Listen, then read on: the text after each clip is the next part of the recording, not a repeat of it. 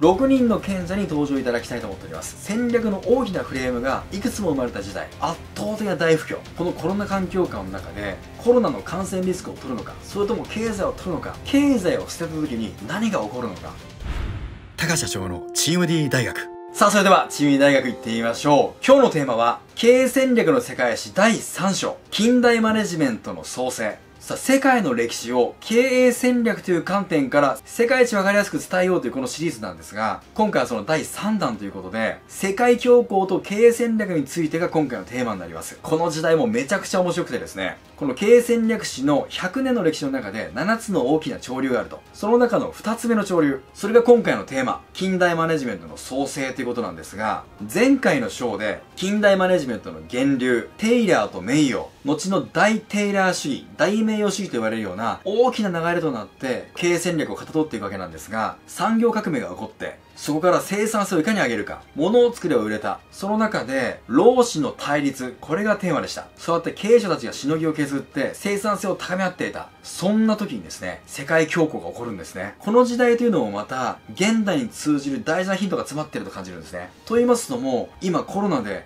人生の中で経験したことないような不況が訪れようとしている。これはくしくも、世界恐慌というですね、人類が直面した悪魔のような期間、その10年間をどう乗り切ったのか。今回は6人の賢者を紹介します。好景気な時と不景気な時では経営戦略が当然異なるわけですよね。その中で経営者たちは経営者たちの本当の役割をまざまざと思い知るんですね。この時代から学ぶことは現代の私たちだからこそ大きいと思うんですね。ぜひ一緒にこの時代の歴史を学んでですね、現代に活かしていきましょう。このチャンネルでは組織で悩む人を一人でも減らすことをテーマに成果の上げ方やチームの作り方、ビジネスに役立つ書評などをお送りしておりますので、よろしかったらぜひ高評価ボタン、チャンネル登録をお願いします。それでは行ってみましょう。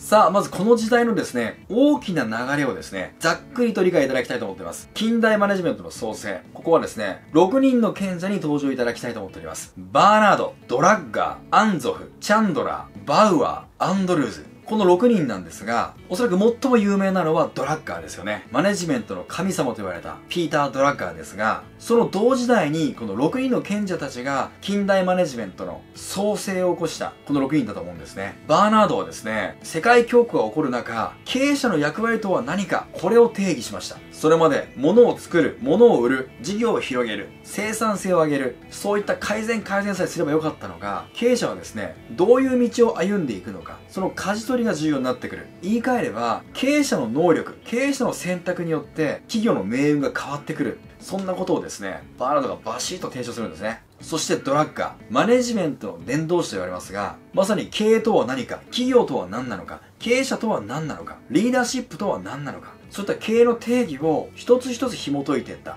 大ベストセラー作家でもあり多くの経営者がこのドラッカーに習ったというですね。このバーナード・ドラッカーが経営とは何かを定義しそしてアンゾフは戦略というですね軍事用語で使えられたものをビジネスの世界に持ち込んだと言われるんですね。そしてかの有名なアンゾフマトリックスが生まれます。このアンゾフマトリックスというのは商品市場マトリックスなんとも言われたりしてですね顧客市場は新規顧客なのか既存顧客なのか商品は新規商品なのか既存商品なのかこれをマトリックスにしてどういう経営戦略を描くべきかこんなことを分かりやすく提示したんですね。チャンドラーというのは、組織は戦略に従うというベストセラーがありまして、当時のアメリカのトップ4社を分析したらですね、戦略とはどうあるべきなのか、組織とはどうあるべきなのか、この戦略と組織でどう経営するべきなのかっていうのを語った人です。そしてバウアー。このバウアーという人は戦略系コンサルティング会社で有名なボストンコンサルティンググループともう一社どこかといえばこのマッキンゼーですよね。このマッキンゼーの売り上げをバウアーが代表の時に10倍に仕上げた。この時のコンサルティングテーマは事業部制の支援なんですね。つまりマッキンゼーというのは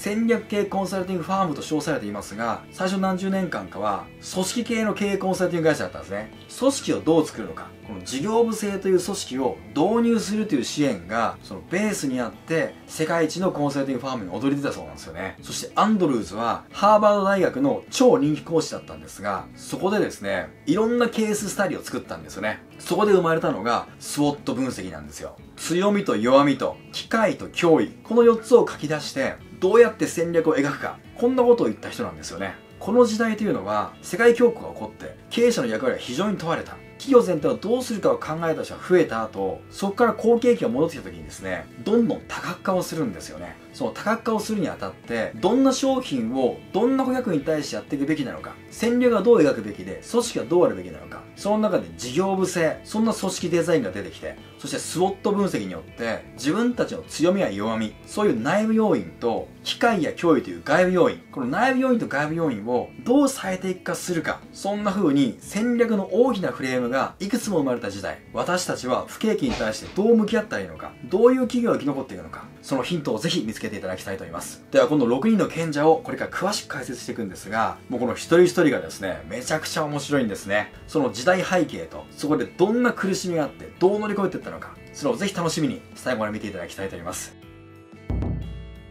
さあ、まず時代背景なんですが、1920年から1950年代、当時のアメリカはですね、第一次世界大戦後の好景気でバブルに沸いていました。国民一人当たりの GDP がですね、ついに世界一になってですね、日英独仏意、この5カ国を足しても、アメリカと同じぐらいの規模。世界第2のロシアでもですね、アメリカの4分の1というですね、圧倒的ナンバーワンの GDP を誇る国になった。それが当時のアメリカだったんですね。第一次世界大戦はですね、主にヨーロッパで行われましたので、そこでヨーロッパ全体疲弊した。ハーセン国が多大な賠償金を支払う。多くの人が亡くなった。そんな中でアメリカは、割とその戦火を逃れて、非常に需要を伸ばした時だったんですね。もうバブル景気、めちゃくちゃ盛り上がってた。そんな時に襲ったのが世界恐慌なんですね。1929年。どんな状況だったかと言いますと、GDP は3割減。これは元に戻るのに10年間用意したそうです。そしてダウ平均株価はなんと5分の1です。元の株価に回復するのになんと25年かかったというですね、もう大変な不況なんですね。もうリーマンショックも東日本大震災も吹っ飛ぶぐらいのですね、圧倒的な大不況。そんな中で、例えばドイツはですね、もともと対戦後の巨額な賠償金があってですね、その上でですね、大資本であるアメリカとかフランスがどんどん撤退していった。その結果、経済が破綻して、失業率40%。失業率40%ってえげつなくないですか？本当に職がない、お金がない、働けない、みんなが貧しい。もちろん絶望しますよね。どうやって生きていったらいいのか？どうやって暮らしていったらいいのか？経済が破綻すると、人間はどういう行動をとるのか？国民が選んだのが、ナチスドイツ。ヒトラーなんですよね。ヒトラーというのは独裁者と言われますが、それを選んだのはドイツ国民なんですよね。第一次世界大戦で負けて、国全体が貧しい。そんな中でビジネスはどんどんうまくいかなくなってですね、バンバン企業は潰れる。資本は撤退する。働き口がない。これをどうしたらいいんだということで、ヒトラーが躍り出て、そしてですね、軍拡、軍事を拡大し、そして公共事業投資でこれを乗り切ろうとするんですね。さあ、この時代背景で、当時の経営者たちが何を思ったか。それは、外部環境の恐ろしさなんですね。これまでの歴史の大名誉主義、大テーラー主義、これもどちらもですね、社内をどうするか、どうやって生産性を上げるか、これは内部環境の話だったわけですね。ところが、どれだけ生産性を上げようが、そもそも仕事がない、そもそも売れない、そうなってくるとですね、内部環境をいかにいじったところで、全く成果が出ないんですよね。人間というのは、貧しくなると、経済が破綻すると、どうなってしまうのか、これはですね、絶対に抑えておくべきことだと思うんですね。このコロナ環境下の中で、コロナの感染リスクを取るのか、それとも経済を取るのか、こんな話よく話されるんですけども、経済を捨てた時に何が起こるのか、これはですね、めちゃくちゃ恐ろしいことなんですよね。単純にみんながですね、貧しくなるとか、苦しくなる。それだけには済まないですね。人と人が殺し合ってしまう。そんな悲劇を繰り返してしまいかねない。そういう過激なですね、思想すらも受け入れてしまう。経済というものが、この人間に何を与えるのか。これは絶対に見落としてはならない大事な教訓だと思うんですね。さあ、そんな強硬化の中でもですね、業績を伸ばした会社もあるんですよね。もちろん落とした会社もあります。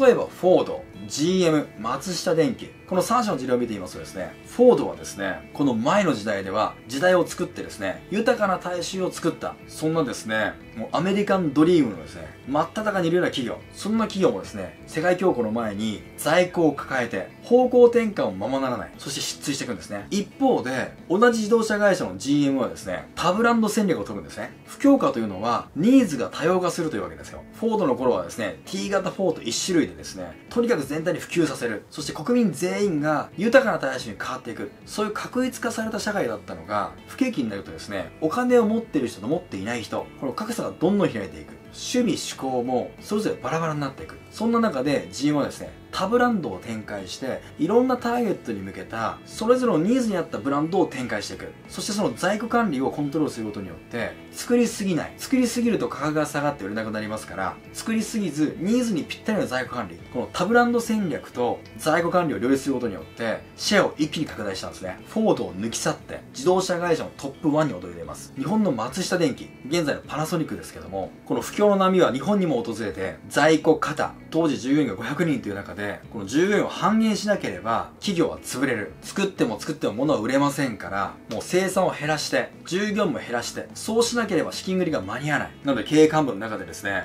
当時の社長の松下幸之助さんにですねリストラやりましょう。500人の半分首を切りましょう。こう提言した時にですね松下幸之助は何て言ったか。松下が今日終わるのであれば従業員を解雇してもいい。しかしそうでないならば雇用は守る。そうでなければ働く者は不安を覚え、これから会社をもっと大きくしていくことはできない。工場を半日勤務にして、生産を半減せよ。給与は全額支給する。その代わり休日返上。全員で在庫を売り切れと。こんな風に言ったそうなんですね。もちろん現代の日本ではですね、休日返上とか、まあそういったことっていうのは言えないとは思うんですけども、もう首切るのが当たり前。それ以外道がないという中で、それをしたら、今はいいかもしれないけれども、これから松下が大きくなっていくんだったら、それは大きなマイナスになる。負の財産になる。だから首は切らない。こんな風に言ってですね、工場の生産を半分にする。出勤も半分にする。営業時間を半分にする。当然国からの保証なんてありません。そんな中でですね、給料は全額支給するというですね、経営者として考えたら、正気の沙汰じゃないようなことですよね。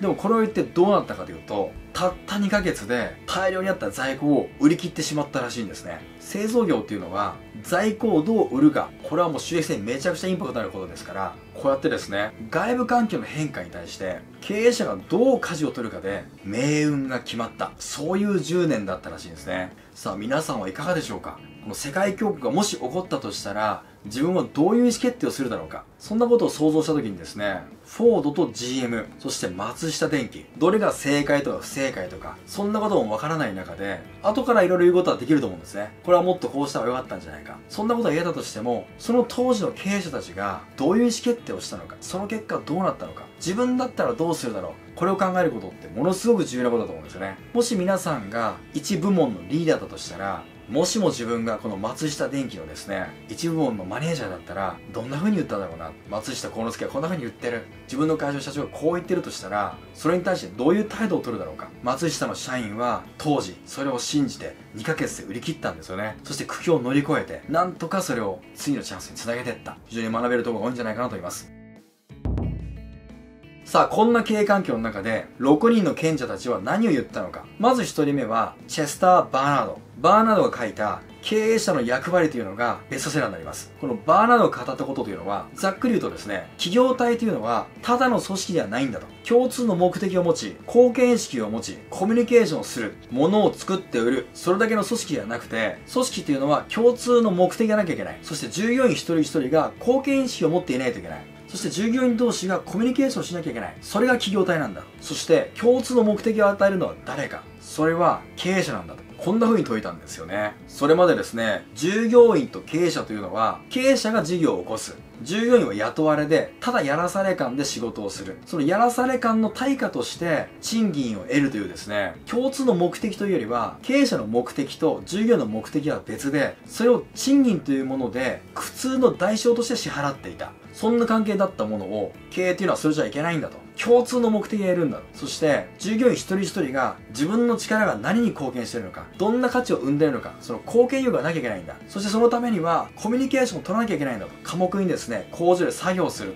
それだけじゃいけないんだと。そんなことを言ってるんですね。これって、現代でもできてない会社多くないですか？従業員と経営者が共通の目的持ってますかね？経営者は、もしかしたらこの事業の目的は、もっと顧客にこんな価値を提供したいんだ。いろんな目的があるかもしれません。でも経営者の中にも、実は目的が自分が儲けたいとか、自分がもっと有名になりたいとか、そういう利己的な欲求の経営者もまだまだいると思いますし、従業員一人一人も経営を通してどんな貢献をしたいのかとか、そんなことを思ってる会社って意外と少ないんじゃないかと思うんですよね。でもですね、この世界恐慌という圧倒的な不況の中でこそ経営者の役割が重要だと。そんなことを訴えたんですね。さあ、この経営者の役割なんですが、後に現れるピーター・ドラッガー、マネジメントの伝道師とも言われる人で、日本でもですね、模試ドラ流行りましたよね。もしも野球部のマネージャーがドラッカーのマネジメントを読んだらっていうですね、このピーター・ドラッカーは非常に長生きでですね、実はドラッカー自身は経営をしたことがないんですよね。経営学の教授としてですね、たくさんの本を書いた。ドラッカー自身は自分自身が作家だと言われるのを好んだらしいんですね。研究者とか、そういう見方をするといいと思うんですが、ドラッグが言ったのは何だったのか。